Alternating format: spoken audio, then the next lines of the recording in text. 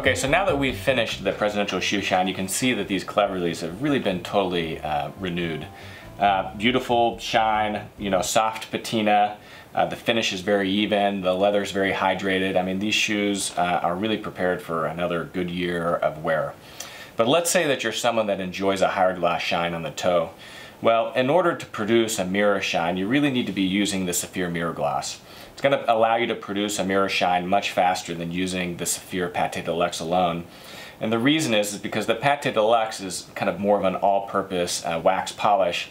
It has a higher concentration of solvents uh, in there, um, which just makes it difficult to produce that high gloss shine.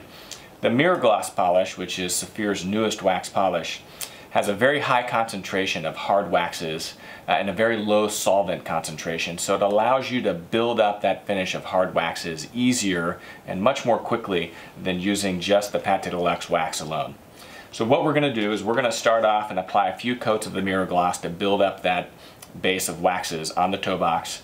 And then after that, we're going to come uh, back over with the Pate Deluxe, which has those higher solvents to really kind of melt and buff those waxes uh, to provide a nice little glissage. Okay, so the first step of building a mirror gloss is that you really have to build a pretty thick layer of wax polish, hard waxes on the toe box. Now what that's going to do is in order to produce the mirror shine you have to fill and glass over all the open pores uh, on this leather. And you do that by building up a, a wax finish. So what I'm going to do is I'm going to take our high shine cotton chamois um, with a little bit of water and then just begin applying several coats of the wax polish.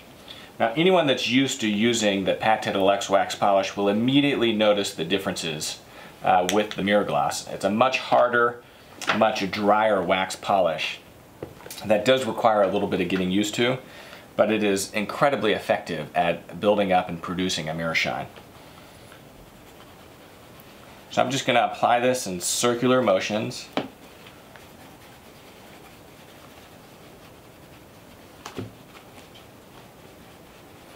Now once you feel the chamois begin to drag on the leather, that means that the polish is dried and you need to buff it off.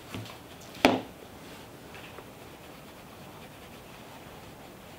going to apply a generous coat since this is my first coat of waxes. Now one thing to note, a mirror shine will take longer the first time you do it because again you have to build up that foundation of wax polish. Uh, once you've done it uh, several times, um, you know, then producing it becomes a lot easier. So while that's drying, I'm going to apply the same coat again. This is a hard wax, so you really have to put your hands into it uh, versus the Pate Deluxe. And I'm just applying this on the toe box.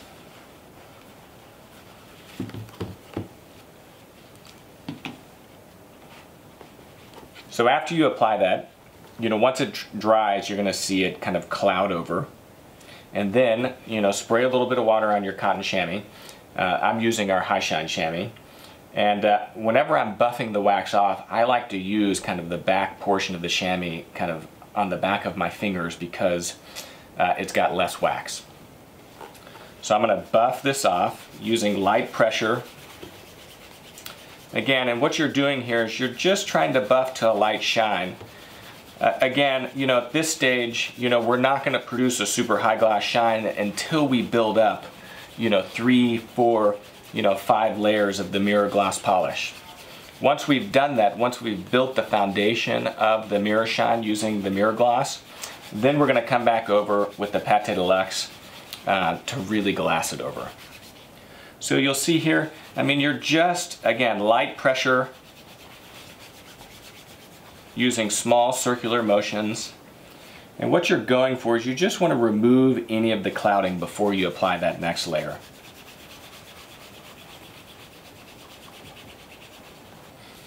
Okay, so you can see we're starting to get a little bit more of a shine.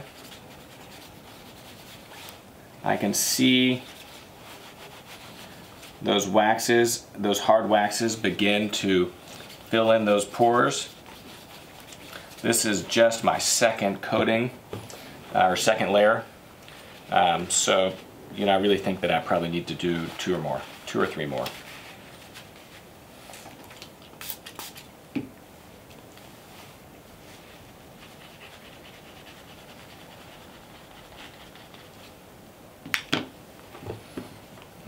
Okay. Okay, so that's my third coat. I'm gonna do a fourth coat. You know, and really pay attention to the area of the shoe where you can see, you know, the open pores still producing an uneven surface. Another coat. All right, I'm gonna buff off my third coat on the left shoe.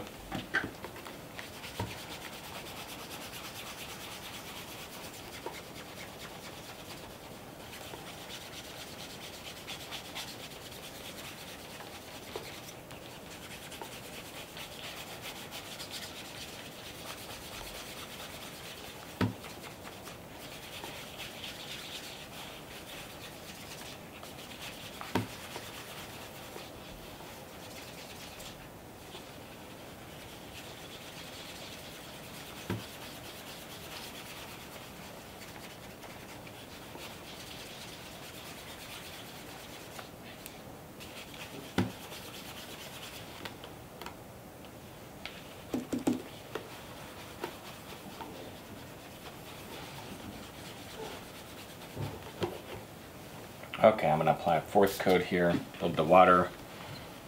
I'm gonna tighten my chamois.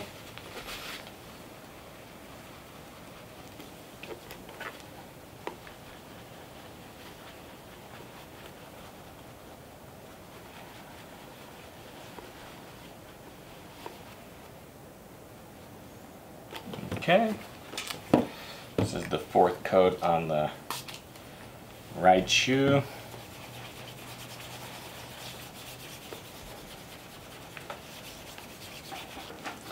So now that we've built the foundation of the mirror shine using the mirror gloss, then it's time to come back over it with a little bit of the Pate Deluxe wax polish. Now the higher solvent uh, concentration in the Pate Deluxe uh, is going to allow us to essentially melt down and begin to glissage over that wax foundation. Uh, the Pate Deluxe wax polish has a much higher concentration of solvents in it. Um, and so it makes it difficult to actually produce that foundation, but perfect for really glassing it over. So here, we really want to be using a small amount of polish, you know, just, just enough to kind of wet your chamois. Uh, less is absolutely more, and the reason is, is if you use too much of the Pate Deluxe, is you're just going to pull all those layers that you just added off because those solvents are going to melt the waxes. So I've got a little bit of water, a little bit of Pate Deluxe, and then what I'm going to do is just really lightly kind of begin to buff that toe box. Okay, now the wax is going to dry a little bit. You know, use a little bit more water. And again, you're going to produce some initial fogging, but just continue to buff using a real light pressure some water, and small circular motions.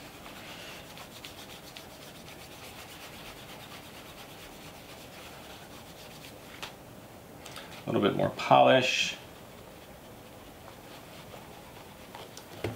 And if you're feeling the chamois dragging across the shoe, you don't want that. So just add a little bit more water using your spray bottle because what that does is it just kind of lubricates and allows the chamois to glide across uh, the wax polish.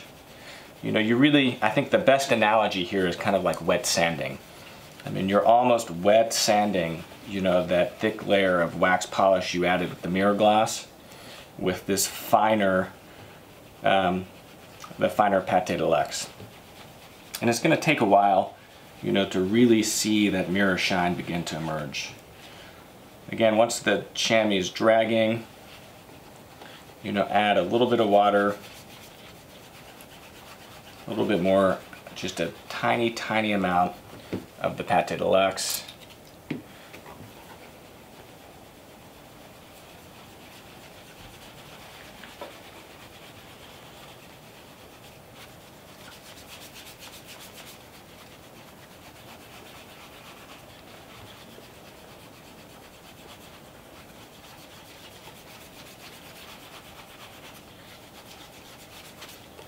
And it little it really takes a while. You can't rush this. If you find that your chamois is maybe dragging a little too much, just switch to another area of the chamois that um, is cleaner.